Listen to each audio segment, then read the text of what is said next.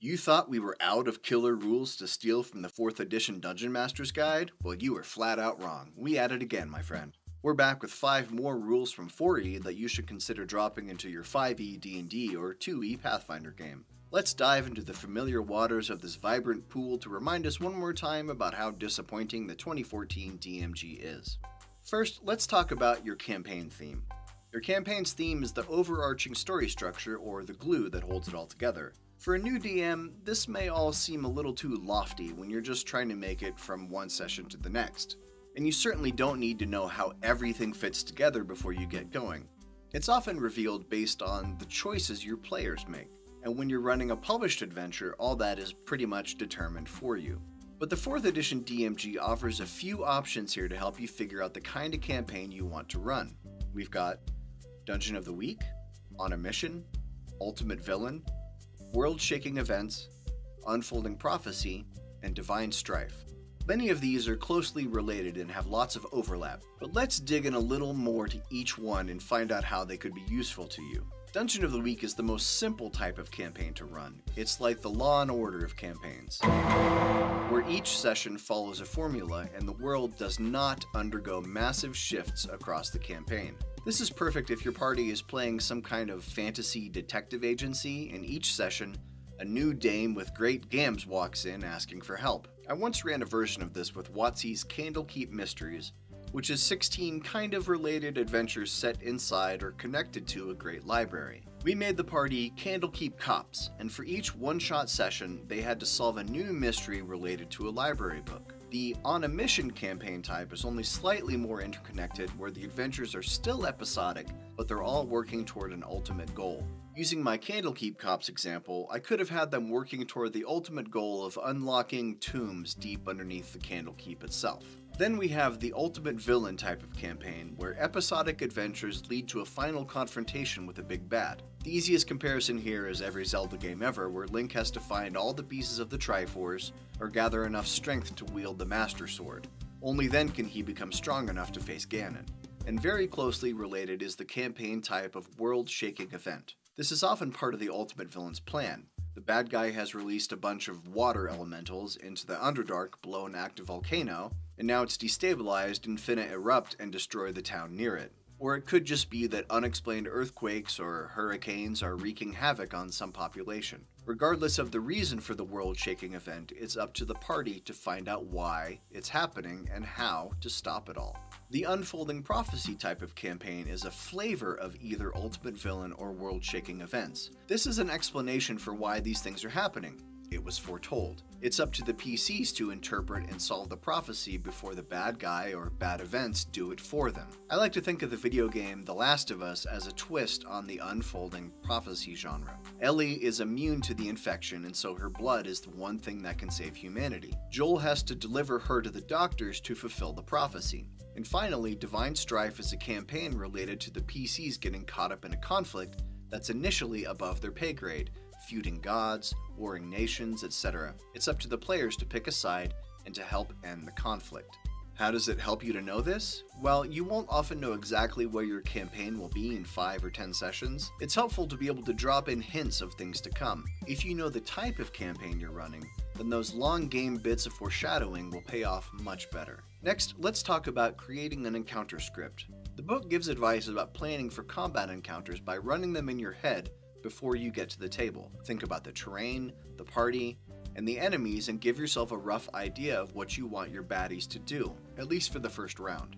When I was a new DM, I resisted doing this because I figured that the bad guys wouldn't likely pre plan their attack before combat, so I didn't want to quote unquote metagame. But the problem with that is my players would too often kick the crap out of my baddies with little trouble. When it comes to players versus DMs, there's many more of them and only one of you, so they can strategize and work together in ways you can't. If you're running spellcaster baddies, how will they conduct themselves in combat? I like to think about high initiative and low initiative options. Can they drop a fireball? Will they try to charm a PC to fight for them? If you're running martial baddies, do they operate by training or by instinct? Both can lead to effective combat tactics. Do they team up against weaker enemies? Do they provide cover for each other? If you use monster roles from my other 4th edition DMG video, it can help you decide what the monsters will do on their turns. Having an encounter script, even a vague idea of one, can help take the pressure off during combat and also speed things up. Third on our list is starvation, thirst, and suffocation. Unfortunately, there's only a brief section in the book about this. It talks of the rule of three here three weeks without food, three days without water, and three minutes without air. D&D is often a game of resource management in the form of spell slots and hit points, but there are other resources you can manage as well. A lot of DMs and players think tracking rations and water skin levels is too fiddly, and I get that. If you had to track it all the time, constantly, it would probably be annoying. You can usually find abundant food in towns, and fresh water if there's a river around. Certain spells can make having clean food and drink a non issue, but consider adding the element of ration tracking and water management during, say, deep dungeon delves. Maybe in certain highly magical places, clean water is spoiled, and no decanter of endless water or goodberry spell works here. Then it becomes a minigame with consequences like levels of exhaustion when the resources run dry. Again, not all the time, but it doesn't hurt to spice things up from time to time by giving the players different sorts of problems to deal with. There's also a brief section in the book on delegating. I won't go into great detail on this since I covered it pretty extensively in my video on tips for paying better attention in D&D games, but I'll give a brief overview. The book says if you're feeling overwhelmed as a DM, consider farming out some of your responsibility to your players. Make someone the rule looker upper. Put someone in charge of taking overall notes for the group or tracking initiative. Have someone keep track of when to take breaks. It can be hard to cede control of these things at times, but you've already got so much to do as a GM. Some of your players will like having the extra responsibility and being able to help out, especially for the types who get bored when not actively in the spotlight. Finally, let's talk about game modes. In certain TTRPGs like Blades in the Dark, there are defined segments of the game to put play into phases. In Blades, it's free play slash information gathering phase, to score phase, to downtime phase, repeating in an endless cycle. This gives form and structure to the game, and it works there. D&D and Pathfinder are generally more loosey-goosey in their management of time, as you'll shift from combat to exploration to social interaction and downtime whenever the situation calls for it. But the 4th edition lists five specific modes for the game setup, exploration, conversation, encounter, and passing time. Setup is what happens at the beginning of a session when explaining what the players need to know before they begin making choices. Exploration is when the PCs physically move through the game world, going places and doing things that are not strictly encounters. Conversation is the back and forth between the players and the GM, or the PCs and relevant NPCs. This is the social aspect. Encounters are traps, puzzles, skill challenges, and combat. And finally, passing time is downtime or the things that don't fit into any previous category. I don't think it's helpful for the GM to say, okay, now we're moving from setup to exploration.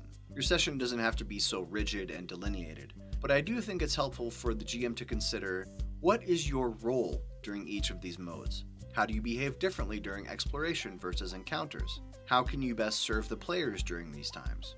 Anyway, that's five even more excellent rules to pilfer and abscond into the night straight out of the 4th edition Dungeon Master's Guide. Check out the first video in this mini series here, and if you still haven't picked up this book, just check it out for the artwork. I mean, look at this. How cool is that? Do yourself a favor. Also, how about a like and subscribe below? I sure would appreciate it. Until next time, this is GM Jim. Now go run yourself some slightly retro D&D.